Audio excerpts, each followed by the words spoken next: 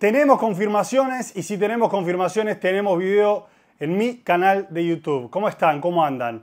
Espero que, bueno, ya se les esté pasando un poquito la bronca después de lo que fue la eliminación de Independiente en la Copa de la Liga Profesional, la no clasificación, pero bueno, esto sigue. Seguramente tendremos mucha materia para analizar, tendremos mucha materia para, para charlar, pero hay confirmaciones respecto a lo que será la continuidad de Carlos Tevez al frente del Club Atlético Independiente. De entrada te pido que me dejes tu like, que te suscribas, porque hay mucha gente que mira el video y no está suscripta, así que vamos con esa suscripción, vamos con esos likes. Y también quiero leerte en los comentarios, como lo has hecho en los últimos videos, que la verdad tuvieron muchísimas vistas y muchísimas opiniones de ustedes.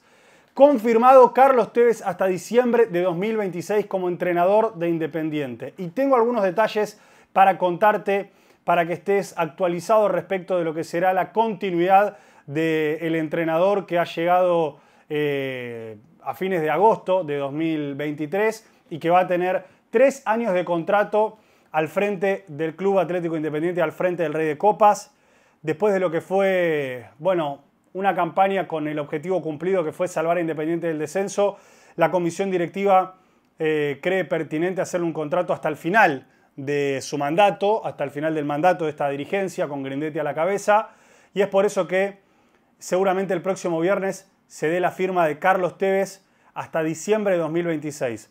Muy ambicioso este contrato. Eh, creo que algunos dirigentes se asombraron con el proyecto Tevez, un proyecto que, vamos a ser sinceros, la verdad que nadie, nadie esperaba en el mundo independiente, me incluyo por supuesto, muy poca gente le tenía fe de arranque a Tevez, pero los propios dirigentes no lo tenían entre los, no sé, 10, 12, 15 apellidos cuando llegaron al club allá por octubre de 2022, porque por eso terminaron eligiendo a Stilitano, después eligieron a Zielinski, y, había muchos otros técnicos antes de Tevez, Holland, eh, bueno, Gareca, Quinteros y tantos otros que se habían mencionado. Y Tevez apareció casi sin querer queriendo. Pero la realidad es que apareció. Y una vez que apareció, terminó de alguna u otra manera enamorando a propios extraños. Lamentablemente eh, no se pudo clasificar entre los cuatro dentro de la Copa y la Liga. Seguramente tenga Tevez por corregir un montón de cuestiones en, este arranque que tiene como entrenador. Pero evidentemente la metodología de trabajo, eh, parte de su equipo de trabajo también ha gustado mucho.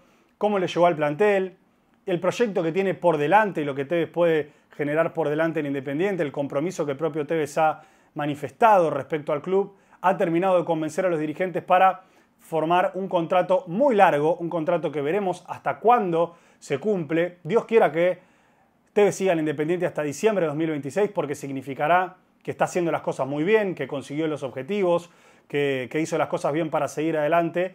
Pero bueno, eh, insisto, es muy ambicioso.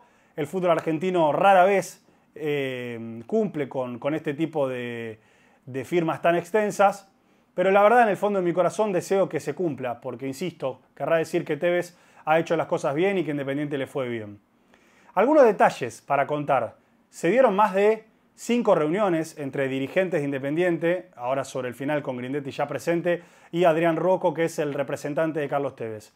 Dentro de estas cinco reuniones, y sé que, para estas eh, horas se iba a dar una para finiquitar ya algunos detalles, se han marcado cuatro o cinco cosas muy importantes que Tevez pretendía y también seguramente que la dirigencia independiente quería pulir antes de esta firma que como te cuento se va a dar a principios de, diciembre, o sea, sobre el final de esta semana corriente. Principalmente, bueno, esto que yo manifestaba ya y que ya todos sabemos, Tevez hasta diciembre de 2026. Después hay algunos puntos muy importantes.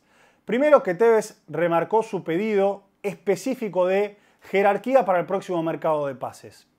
Lamentablemente Independiente no se clasificó a ninguna copa para el año que viene, no va a jugar ni Libertadores ni Sudamericana, solamente tiene en el primer semestre Copa de la Liga y algún partido de Copa Argentina.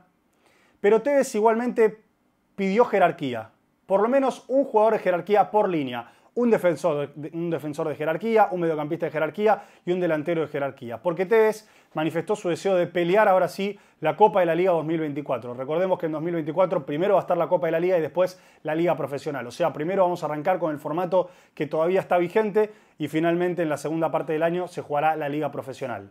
Esto es también porque en el medio va a estar la Copa América, recuerden ustedes, entonces el calendario se tiene que ajustar de alguna manera a, lo que es el calendario Comebol. Tevez pidió jerarquía. Entre tres y cuatro jugadores importantes para mejorar el plantel que ya tiene, para dar un salto de calidad y para pelear la Copa de la Liga de verdad. Eh, y aparejado a este pedido de jerarquía, también está la necesidad de rearmar, reajustar el plantel que hoy tiene Independiente con más de 30 contratos, o mejor dicho, no contratos profesionales, porque Independiente tiene casi 60 contratos profesionales, pero sí más de 30 jugadores en la órbita, entre los que va a tener en cuenta, los que no, los que van a volver, los chicos que van a subir, y Tevez quiere pulir eso. Quizás no quiere un plantel corto, pero sí un plantel ajustado a sus necesidades. Por eso hay muchos jugadores que se van a ir. Ya Tevez tiene la escoba en la mano preparada para limpiar a seis o siete futbolistas que no van a continuar.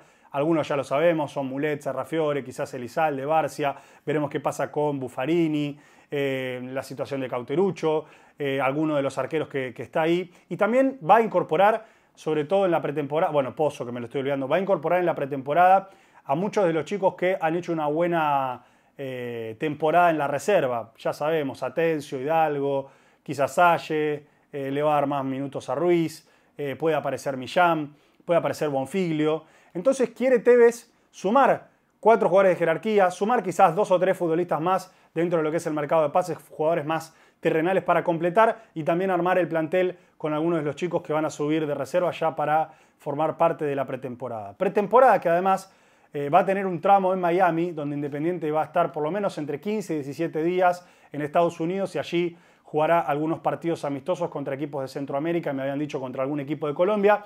Veremos finalmente cómo se da eso. Eh, un tiempo en el que Independiente va a estar seguramente en uno de los predios que tiene el Inter de Miami, en Fort Lauderdale.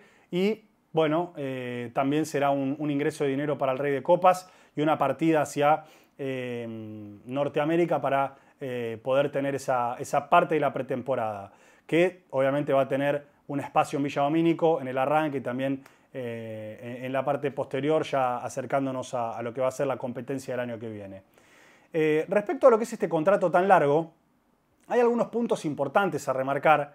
Así como en algún momento Gallardo tenía en River que al final de cada temporada había una revisión respecto del contrato, de la continuidad, esto también tengo entendido que va, a, formar parte del contrato de Tevez, una revisión a final de cada año, y va a haber incluido em, una especie de penalidad, de, vericueto legal, le estoy llamando yo en cada video, eh, por si Tevez o el Club Atlético Independiente deciden irrumpir con este contrato. ¿Qué quiere decir esto? que la verdad todos entienden que tres años de contrato para el fútbol argentino es mucho, y en caso de que Tevez rompa con este contrato porque renuncia, porque se quiere ir a otro club o por lo que sea, va a, tener una penalidad y lo propio Independiente, en caso de que, no sé, Tevez a final del año que viene le vaya muy mal, Independiente lo quiere echar, en vez de tener que pagarle los tres años completos, Independiente va a poder pagarle una suma de dinero específica y no tener que completar todo lo que signifique la partida de Carlos Tevez. Seguramente nos iremos enterando de más detalles. Te despidió, entre otras cosas, por ejemplo, eh, que continúe todo su cuerpo técnico. Es un cuerpo técnico muy amplio, donde, por ejemplo, están sus tres hermanos eh, como colaboradores, donde está Chiesa, donde tiene otros dos ayudantes más, donde hay también, por supuesto, un ayudante de, un entrenador de arqueros, ayudante de campo, preparadores físicos, etcétera, etcétera. Eh, es un cuerpo técnico de casi 12 personas, si no me equivoco.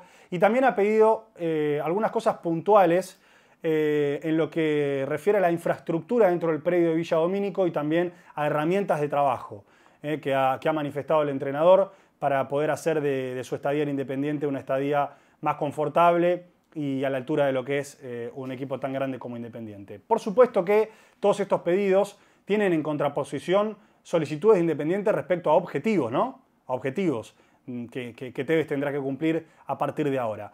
Pero estos son algunos de los detalles que nos fuimos enterando, seguramente aparecerán más, insisto, que nos eh, iremos eh, enterando y nosotros comunicando a ustedes que están del otro lado.